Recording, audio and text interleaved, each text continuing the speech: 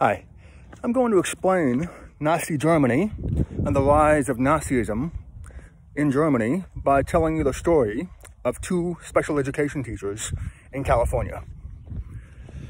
So, on this block, um, almost all these houses are a million dollars each. Most, some, some are actually more. And I believe there's one house that we'll talk about later that's closer to $2 million. As you can see, they're nothing special. The houses themselves are quite ordinary. Uh, this one's nice.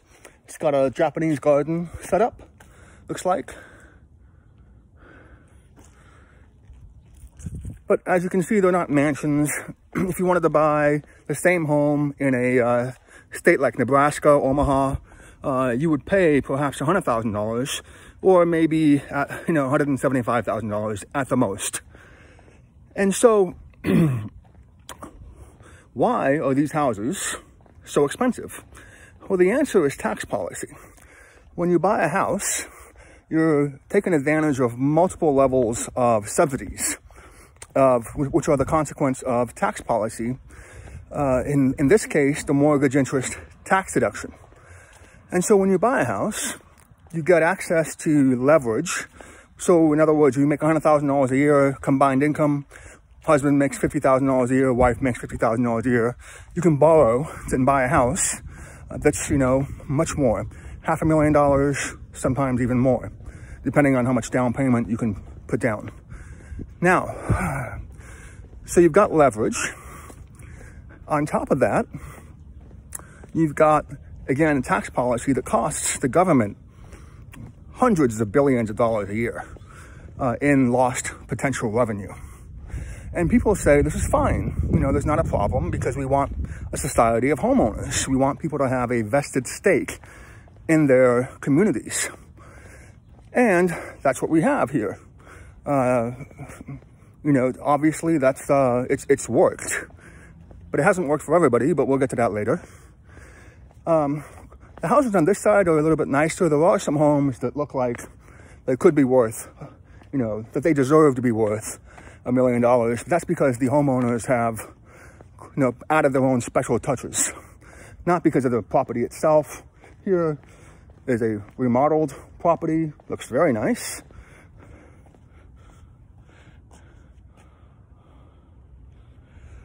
So you see that ultimately, the reason these houses are so valuable uh, has nothing to, nothing to do with the inherent value, but a combination of leverage and tax policy. Now, let's talk about the teachers. Within the state of California, my neighbors, um, we'll just talk about my neighbors. We'll start with that. Here's another, speaking of teachers, you can see that little uh, pencil right there. And then there's a little art. I think there's a bit, yeah, there we go. It's kind of an art display over here that you can't quite see, but it's uh, right there. So, teachers, uh, my neighbors, happen to, happen to be uh, special education uh, teachers. And if you want to talk about uh, the best neighbors anyone, anyone, anyone can have, it would be these two individuals. Uh, extremely intelligent, um, good people. Uh, you know, the kind of people that when they retire, travel together, hold hands together when they walk down the street on a daily outing. And ultimately, the uh, we want to talk about, you know, why this blameless group of people are actually the result of a backlash, has have caused a backlash that has led to our current political climate, not just in California, but nationwide, where we as Americans in 2020 uh, will be voting for one of two people in the national elections. Uh, one would be Joe Biden, who has been in Congress and in the government for many decades, has pretty much gone with the tide on every major issue, uh, whether it's crime prevention, jails, uh, jail funding, um, or most infamously, voting for the war in Iraq. Always seems to have gone with the tide. And he's being rewarded for it. He ran for president before, a few decades ago, and uh, was disqualified himself simply because of a today it's quite funny, but it was plagiarism. And it wasn't something that was, you know, egregious. Um, but he just he was he disqualified himself on that basis, which again, today with all the pol political shenanigans going on, uh, is you know it harkens back to a time when Americans were more naive and they really did believe that politicians had to have a higher moral status than the average person, uh, simply because of the power that they controlled or were in charge of managing. And so that's who we, we have on the liberal side, on the progressive side. Um, and on the other side, we have somebody that many people consider to be uh, paving the way for a corporate state. Somebody who's going to lower regulations in order to provide an alternative, an affordable alternative to the inefficiency of government. And in doing so is going to weaken the power of governments uh, and then transfer the revenue that would otherwise go to governments uh, to organizations that get things done. That's who's on the other side. And uh, people have called him a fascist, they've called him corrupt, and so on. But the fact of the matter remains that he criticized Joe Biden's vote on Iraq. That's one of the reasons that he got elected, is because he seems less willing to go with the tide. So now we have a, a sufficient background. Let's go ahead and talk about, let's get back to the special education teachers. And like I said, there's, if there's two groups of people, of individuals, uh, that would be, you know, blameless in any society, it would be individual farmers small farmers, and special education teachers. And it turns out that special education teachers within the state of California cannot have their budget cut. The education budget, well, first of all, nobody, no politician wants to be in a position where they have an opponent accusing them of cutting funds for special education kids. But there's actually, as far if I'm correct, a law that literally prevents the cutting of this line item in the budget. Um, and so we call that, in, in, political terms, we call that a sacred cow. Um, I don't know where it comes from, probably, maybe it's got a Hindu connotation, I'm not sure.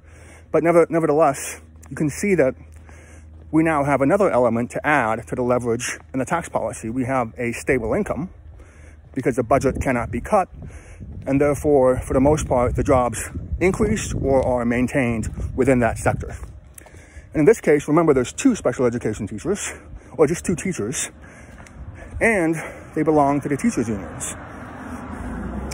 Now, within the state of California, the largest item in the state budget is education overall.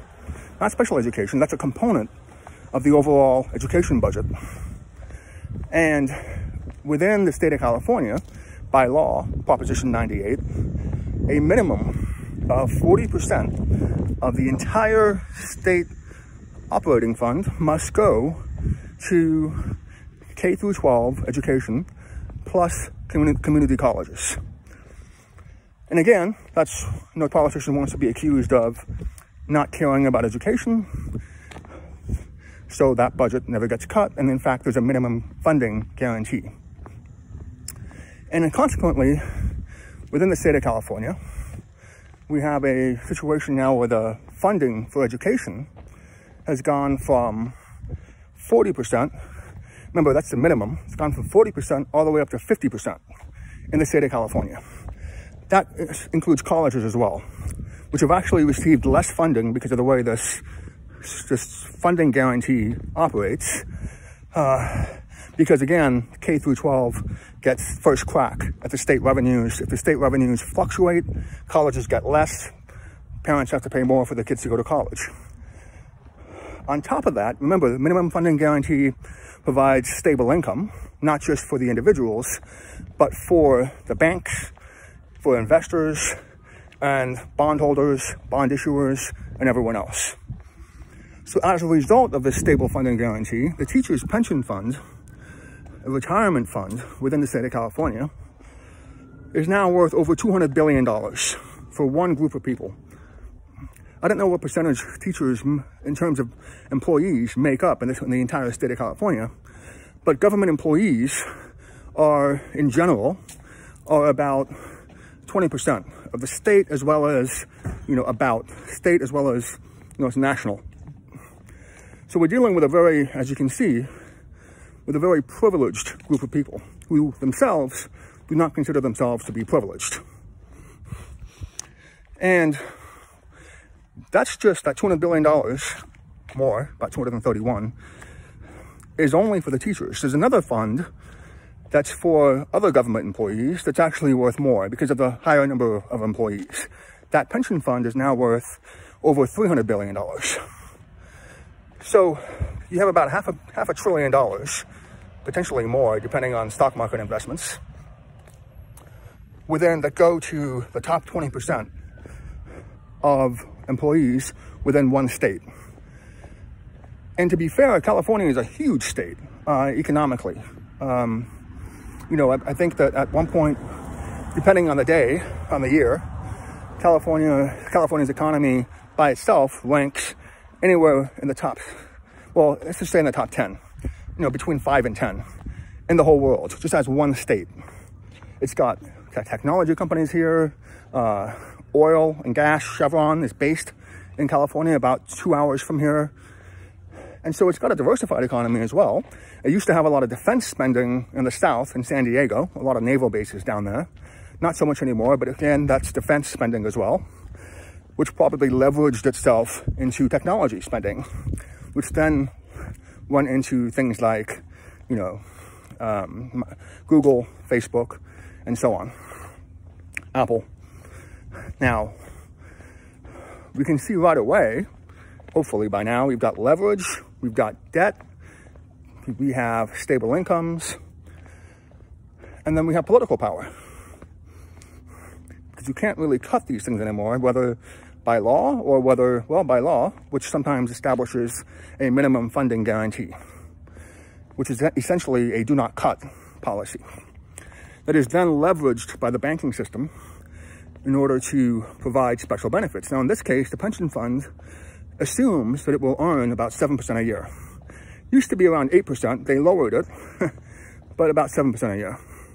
If you do the math, that means that every, you know, if you, if you assume about half a trillion dollars uh, in these pension funds at a 7% annual assumption of return, what that's saying is every 10 years, the government and the banks have to magically come up with another half a trillion dollars because they're paying out money every year, presumably.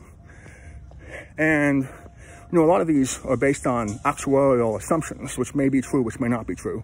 In this case, because it's a little bit more complicated because a lot of teachers are women, and so they live longer than men. So that may be one of the reasons why it's a 7% return to make sure there's enough funding involved.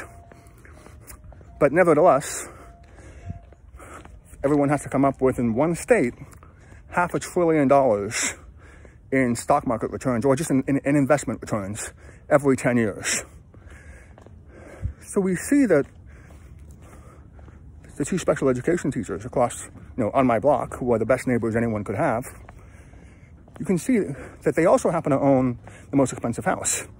Part of that is just um, intelligence. Part of that is, is wise investments, but also the the husband is a very good handyman. He's just, he's a, he has a science background. Uh, he, so he's, he knows how to work around the house. But nevertheless, they have the most expensive house on the block. We can see that it's not an accident. It's a combination of many, many different things, of deliberate policy choices. And, you know, you can't really get more deserving people. I think that's the that's that's the upside of all this, right? You can't get more deserving people than these two individuals. Now, they're the ones that say hi to their neighbors whenever somebody moves in. I think we have we have some new neighbors. I haven't even said hello yet. Uh, they're the ones who greet people and so on. Now,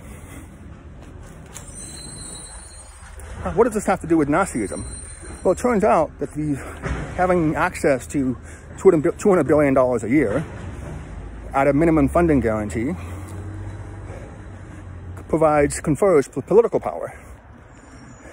And so, as a result, California is now a one-party state. A liberal one-party, progressive one-party state. One party controls every government office from the top to the down, uh, all the way down. And this is not an accident. Unless you can come up with half a $200 billion in assets, a minimum funding guarantee, and so on, you can imagine very quickly how this has resulted. Now, no one, no one says or no one thinks that education itself has gotten better. By the way, one of the cool things about California is all the immigrants, uh, especially from Mexico. So this, this guy's got a really cool car, got Day of the Dead. It's not something you see, uh, it's really cool. Um, hola. So, um, Dia de los Muertos. It's really cool. It's a very, uh, I haven't been to Oaxaca yet, but apparently that's the epicenter of the celebrations. Um, and so, let's get back to what we were talking about. So what you see is that now you have political power, which then creates, because it's such a large chunk and a stable chunk of the government's budget, minimum 40%, it becomes sort of a centralized base by which it's not a fist. It doesn't start out as a fist, right? It's an open hand. We want to help somebody. It becomes a fist. The potential to become a fist because of the fact that it's power and power corrupts. So we now have a situation where one party controls essentially the entire economy. Doesn't it look that way, it doesn't feel that way, but remember, you've got a privileged 20% that control about 40%, well, no, minimum 40% of the entire budget. That's tens of billions of dollars a year. In order to displace these people, you would have to come up with a, I mean, equivalent money, right? I mean, otherwise, if you try to lay off that, that, that those people or you suddenly try to cut pensions, you can imagine the political backlash that would occur, despite the fact that we're talking about the top 20% of society.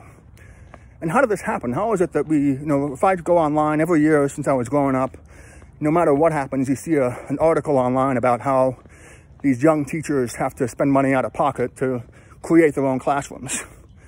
And I call shenanigans on this because even though it's true, the fact of the matter is that there's plenty of money in the budget in order to avoid this. And so you see that when you control that amount of money, what ends up happening is if the compensation system becomes back-ended, it favors older people, it favors people who are tenured, who are locked into the system, the stable system. And as a result, it starts to shortchange people who are coming in, simply because the terms are not broadly applicable or sustainable the more people come into this privileged class of society. Remember, you're already trying to come up with, for this one group of people, uh, you know, you're already trying to come up with hundreds of billions of dollars every 10 years. Within a system that, again, no one thinks is improving wisdom or democracy or, or voting, or, you know, the, the, the potential for a better voting system or a better voter education. No one thinks any of this at all. And in fact, you know, if you look at the private sector, you know, a lot of those people are not at all uh, are more diverse, right? If you go into Google, it's like looking at the, at the United Nations. Well, it turns out that the teachers within the state of California, again, a majority, overwhelmingly female. Uh, last time I checked, about 70%, and overwhelming, overwhelmingly Caucasian. Which again makes sense because they were there first, uh, before a lot of a lot of immigrants came in. And so you can see that the system is actually within the state of California, the immigrants have come in to sustain this unsustainable system because we're separate and un un unequal. So within the state of California, when you talk about favoring immigration, well, it's not a choice. You have to do it. If you don't get all these workers coming in, these specialized engineers coming in, making six figures, you can't sustain this system that heavily favors existing groups within the state of California. So it's not an accident. It's not something that's charitable. It's a necessity. But no one sees it that way. So every year, there's this propaganda, this marketing that comes out and talks about how poor teachers, or how poor teachers are and how hard they work. Despite the fact that within the state of California, teachers are by law only required to work half the year. So basically that, that's because a large chunk is summer, summer school. Um, sorry, summer break. And so once you're tenured, you get three months off in the summer. You include things like holidays, like two weeks off in Christmas, all the weekends. And again, what happens, you're only working about half a year while the private sector, because it's constantly trying to sustain this unsustainable system, has to work more. So I remember growing up that I kind of assumed that I would only work about five, six days a week.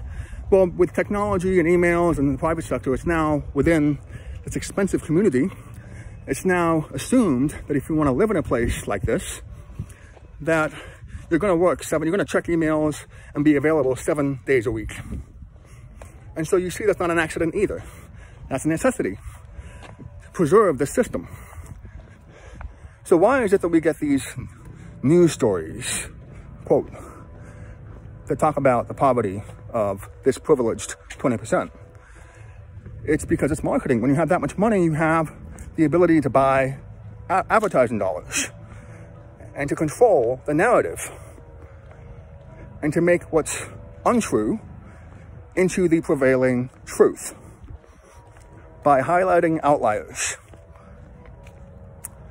and so again, it's not an accident. Absolute power corrupts because it, it also manages not only to control the economy, but it also manages to control the media. Not control, but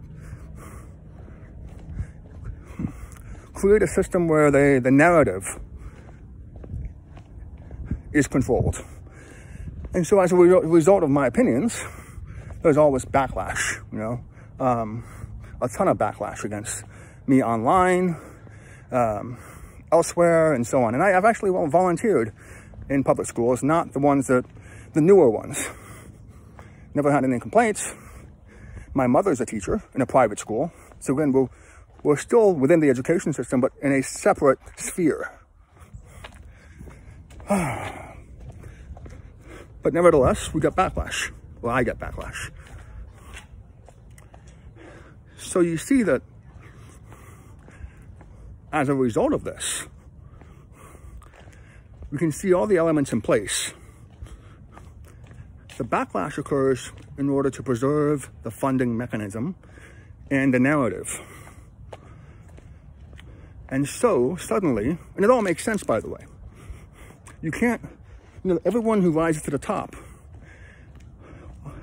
is almost always part of the establishment. It doesn't matter if you're the founder of Pakistan, who was a lawyer, Gandhi, who was a lawyer, um, again, somebody privileged.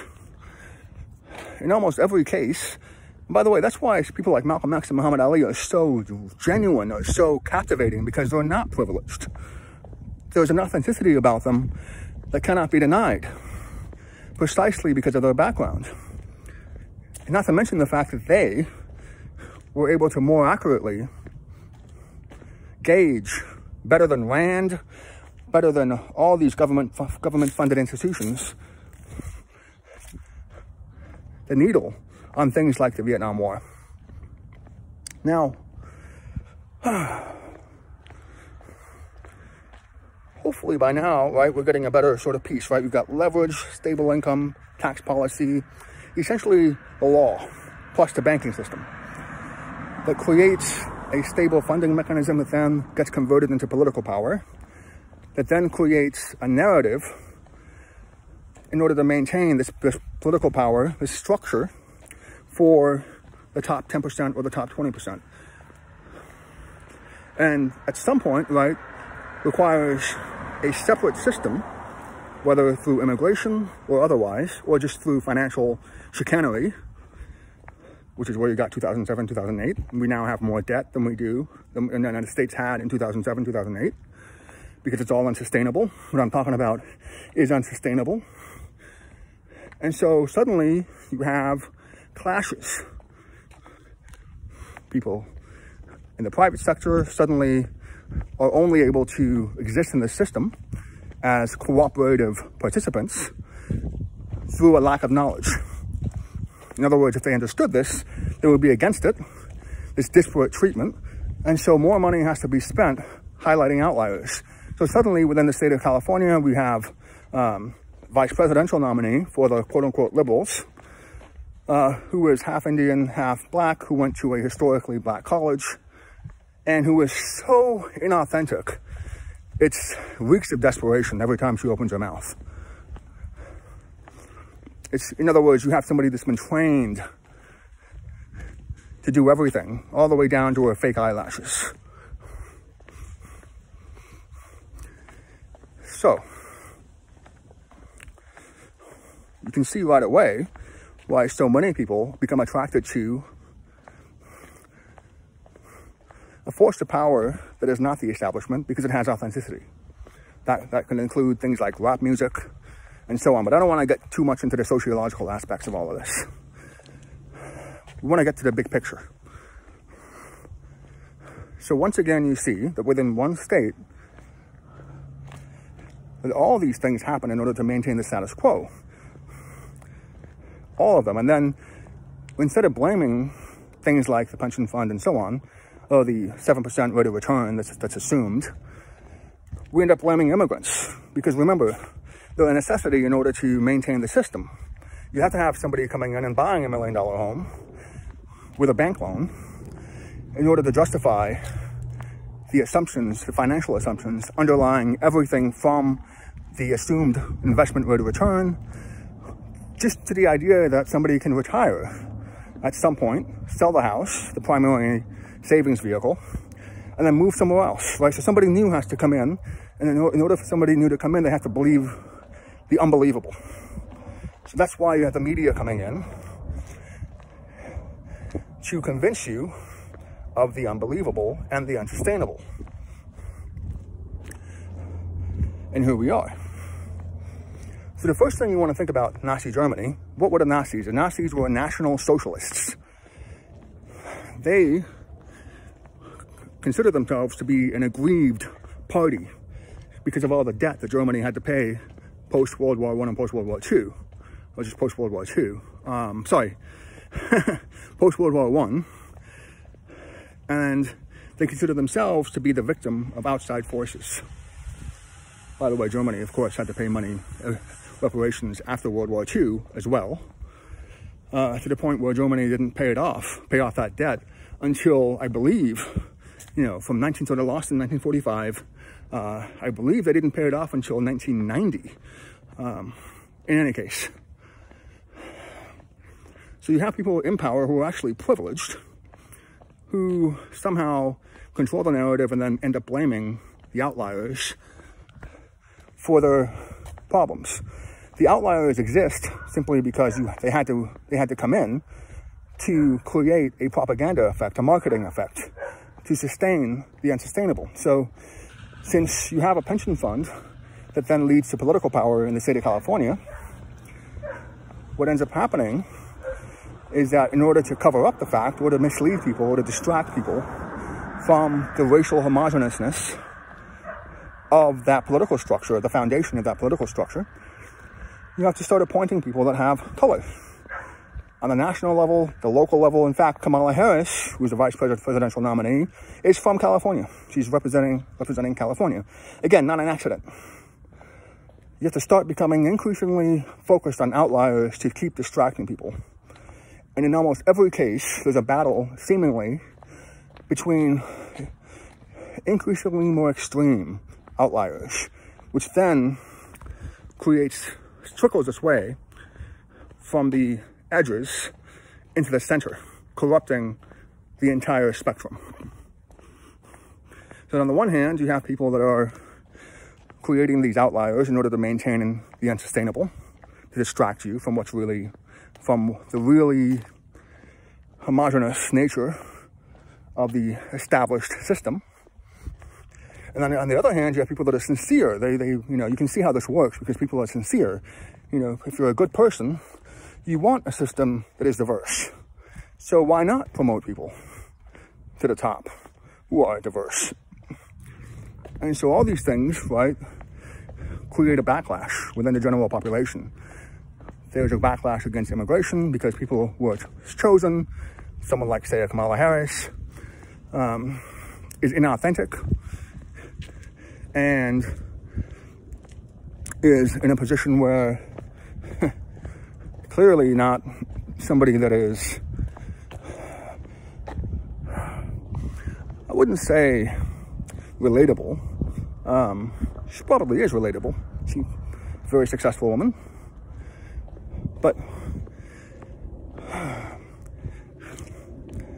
not, not authentic because she's been boosted by these same forces that are trying to maintain the status quo. And so when she runs into somebody authentic, such as the debates against Tulsi Gabbard from Hawaii, she's destroyed. She gets destroyed by anybody who's not, who's authentic. The reason that politicians seem to do so well is because they're constantly on a stage with other inauthentic people that are trying to maintain this structure. And again, it's no accident that on the national level, Joe Biden is Catholic. This whole city with the million dollar homes, um, well, this block, this whole neighborhood. Uh, we were in San Jose, Catholic mayor. He won, he got into office by defeating somebody from the same Catholic high school that he went to. They both went to the same Catholic high school. San Jose police chief went to St. Francis High School, a Catholic high school. Um, gosh, I mean, presiding judge of the county courthouse that has jurisdiction over this neighborhood. Uh, went to a law school at Santa Clara University, which is a Catholic university, private. Uh, the governor is Catholic. Um, I mean, you just go down the line. And yet, none of them are vice presidential candidates, right? Odd. Oh, the Board of Supervisors for the county uh, majority Catholic, absolute power under the guise of progress and progressivism. An open hand that becomes a fist. Because in order to maintain the unsustainable, you have to crush the stent. What that does in an era where anybody can have a blog or a YouTube video, where the costs of media are less onerous. What that does is it fragments society. It gets the extreme into the middle and corrupts the whole thing, as we just talked about.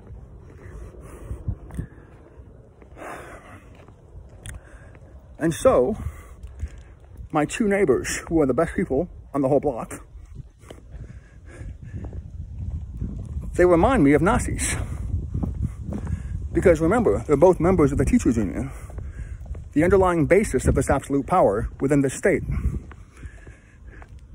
They would never think of, of themselves as Nazis.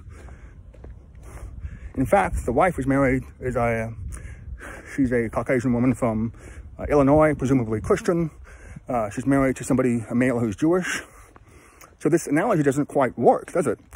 Until you realize that it was the maintenance of power that is key to look at when you're studying history and war and the attempts to hold on to that power. So once you realize that Nazi Germany came into power because of absolute power and its desire for absolute power, you can also see how there was, they can't get there unless it elevates and gets on its side a group of deluded, brainwashed group of good citizens who don't consider, consider themselves to be part of the problem. And in fact, on an, on an individual level, they're not part of the problem. They are, again, the best neighbors anyone could have. And yet,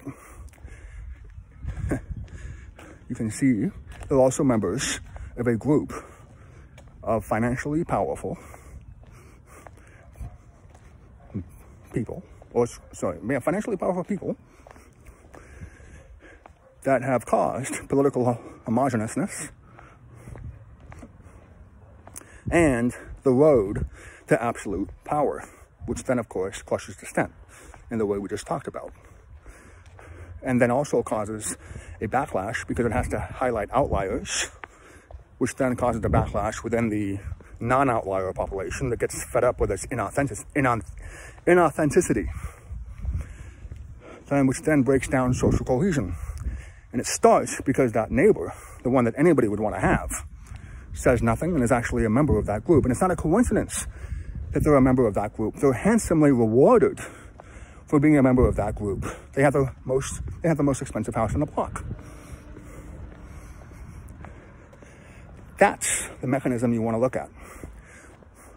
That Nazism is actually a lesson against absolute power. And it's a lesson that the best neighbors you could possibly have are co-opted within that system without themselves knowing it or thinking of themselves as part of the problem. And that requires, again, we'll say control of the media, control the narrative.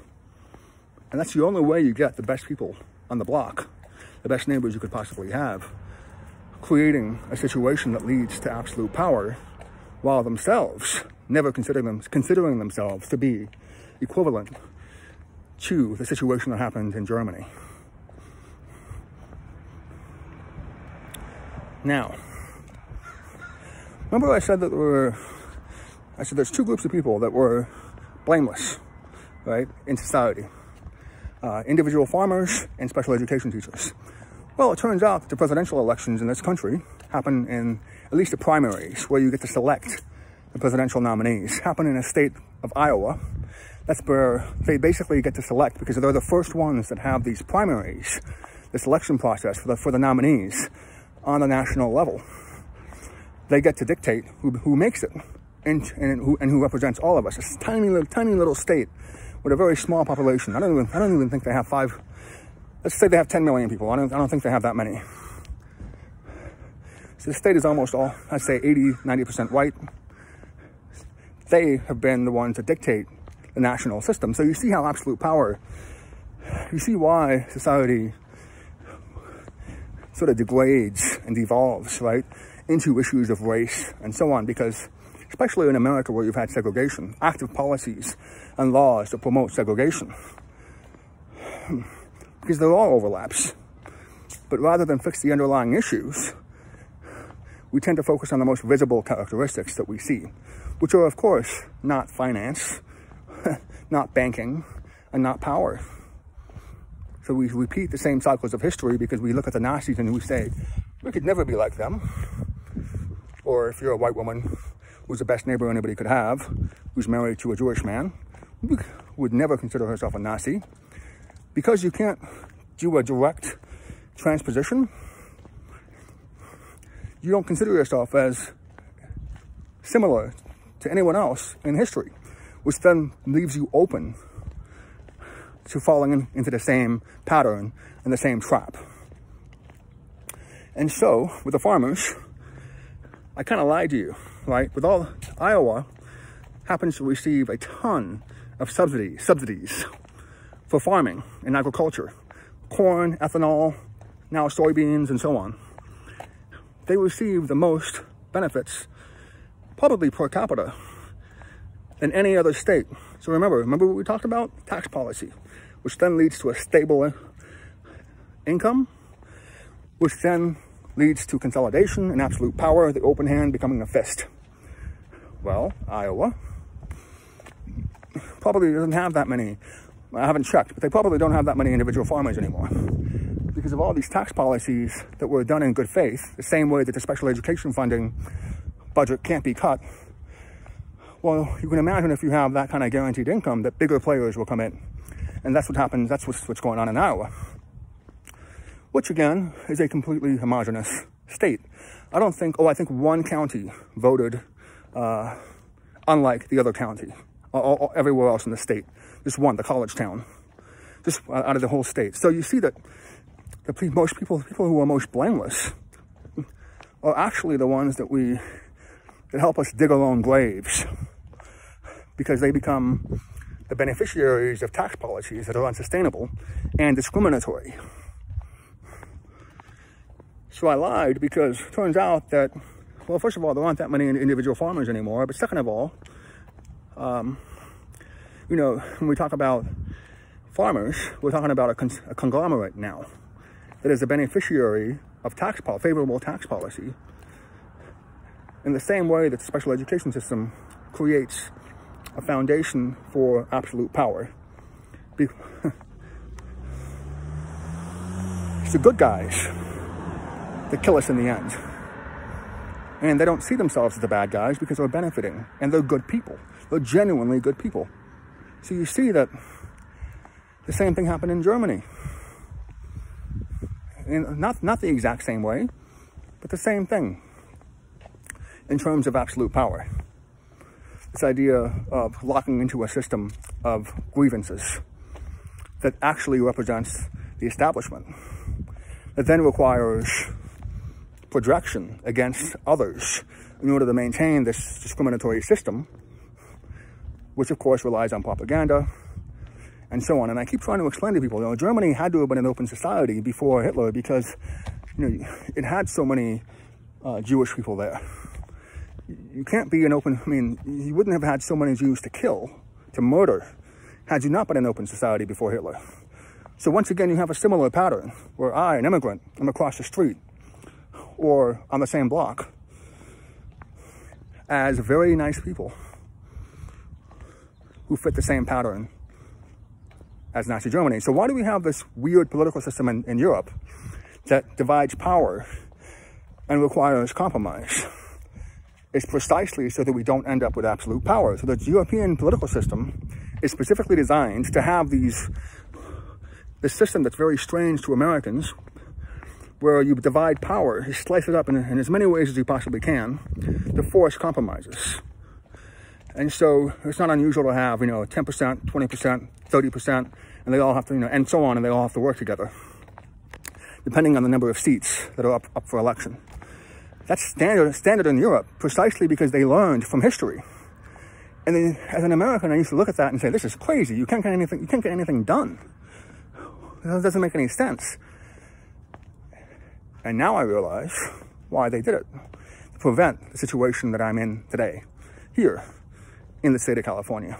A one-party state bordering on, on a theocracy within government that is on its foundation financially unsustainable, and yet in the top 10 economies worldwide, which of course gives rise to massive debt,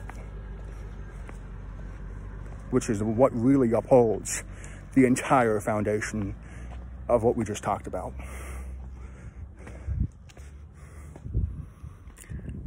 Why don't I leave?